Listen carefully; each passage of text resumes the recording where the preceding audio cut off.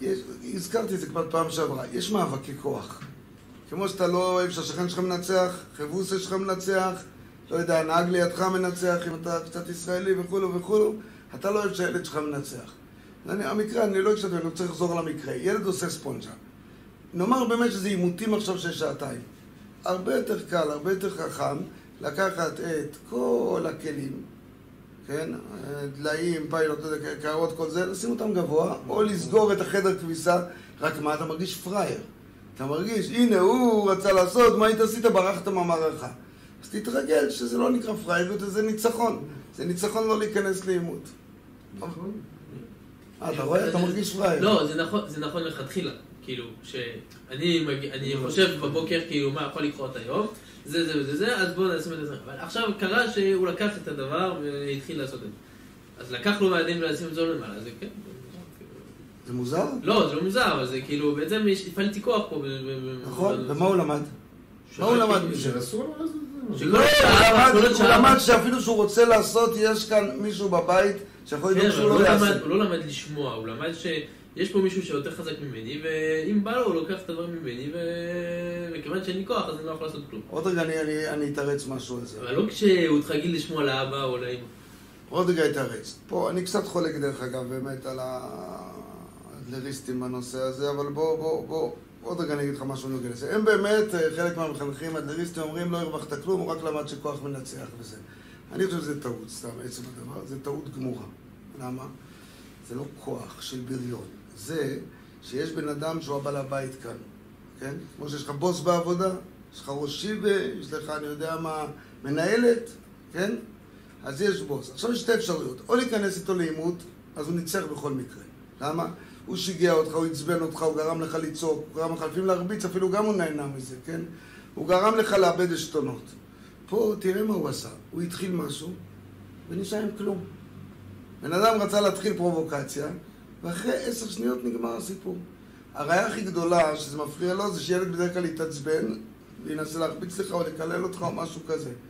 אם הוא היה מרגיש טוב, הוא לא היה עושה את זה. הוא מרגיש שבעצם יצא מהמערכה. עכשיו, יש אלף דוגמאות כאלה. עכשיו, מה שאתה אומר על הכוח, מה שאתה אומר על הפעלת הכוח, אני אומר, קודם כל, אני חושב שהבעיה לא בילד, אני חושב שהבעיה באבא, שהאבא מרגיש פראייר, ככה אני חושב. אבל נדבר על הפעלת הכוח, כן? יש כל מיני דברים שפותרים את זה. לדוגמה, לא סתם לקחת, אלא פשוט להגיד שתי משפטים. להגיד לו, תשמע, עכשיו ערב שבת, זה לא זמן לעשות ספונג'ה, אמא מספיק עבדה קשה גם ככה, או אבא, לא משנה, ולא עושים ספונג'ה, נקודה. ובפעם הבאה, כשהוא ממשיך, תגיד לו, טוב, אנחנו רואים שאתה לא מבין מה מדברים, אז אנחנו חייבים לעצור את זה. מה זה כוח? זה דבר טיפשי להגיד בכזה מקרה זה כוח. מה זה כוח? כל דבר זה ככה, גם כשאתה נמצא בחוקי התנועה ואתה לא עובר אדום כי אתה פוחד משתו זה גם כוח. ככה החיים מתנהלים. זה לא מלמד אותו להפעיל כוח של אלים, זה מלמד אותו להפעיל כוח כשהוא יהיה במשרה ניהולית. אתה אומר לו, זה לא לעניין כעת, והוא יודע שזה לא לעניין, אפילו שהוא אומר, מה פתאום וזה. ואתה אומר לו, כאן בבית, אבא ואמא מחליטים מתי לעשות ספונג'ה. לא, אז אם אתה אומר את זה בצורה כזאת סתם, אבא ואמא מחליטים ולא שואלים אותך, זה בעיה קצת.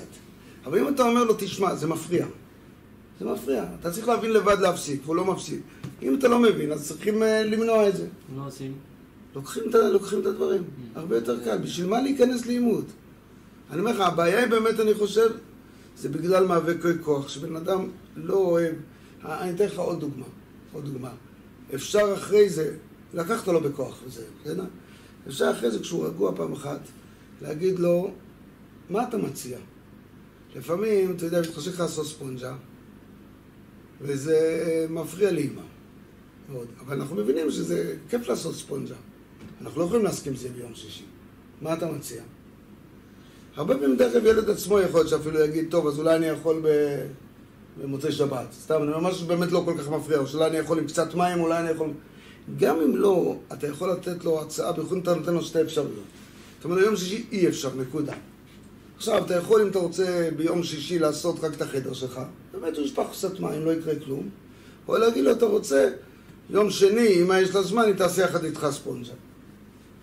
אז הכוונה היא, יחד עם ה, ה, ה, זה ששמת גבול, אבל ה, ה, הכלל בשביל לא להיכנס למאבקי כוחות, זה כמו עם אנשים מבוגרים, רק ילד לפעמים יותר קל.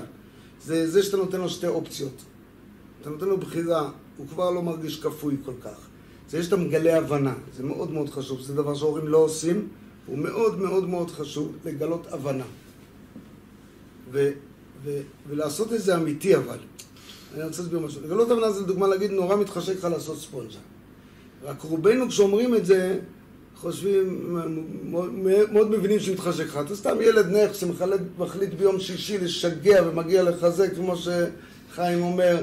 לא, אבל תחשוב שנייה אחת. ילד משועמם, יום שישי בקיץ, אין מה לעשות. זה שיא הכיף לשחק במים, כן? באמת אפשר להבין אותו, מה. נכון, הוא מפריע לך, ואתה לא מבין שהוא רוצה לעשות ספונג'ה, מה? הוא צריך להיות דביל אם הוא לא רוצה לעשות ספונג'ה. אז תגלה הבנה מלאה, תגיד לו, אנחנו מבינים אותך, אבל אי אפשר. זה דבר שעושה נפלאות. לא במקום, אבל באופן כללי. גם במקום לפעמים.